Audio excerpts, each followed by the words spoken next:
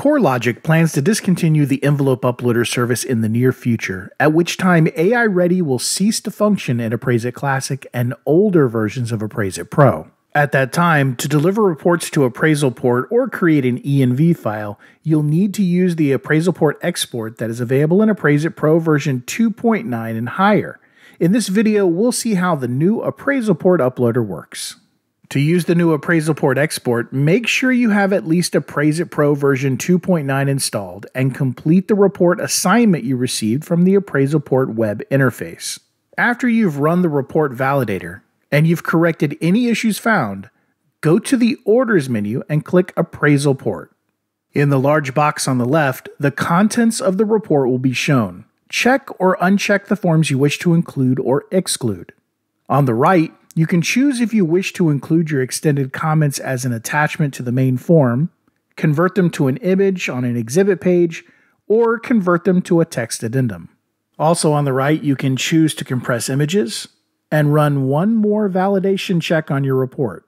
When done, click Next, and if any additional errors are found, address them and rerun the Appraisalport export. You'll also be notified if any forms in your report are not directly supported by Appraisalport. By default, they'll be placed into exhibit pages as images. Next, your report will be converted to the ENV format, and a PDF version of the report will be displayed. Scroll through the report and make sure everything you wish to include is there. If you need to create an ENV file to upload to a web portal other than Appraisalport, click the Save ENV button in the lower left corner. You can also choose to save a PDF version of your ENV by clicking the Save As button on the top toolbar. To upload the report to Appraisalport, click the Upload button in the lower right corner. To upload, you'll need to enter your Appraisalport username and password. Check this checkbox if you want to save this information for next time. Then, click Next. A list of orders you've accepted from Appraisalport will be displayed. Select the order that this report corresponds to by clicking on it. If you need to, you can search for an order in the search box above the accepted orders list and sort the orders by clicking on a column header.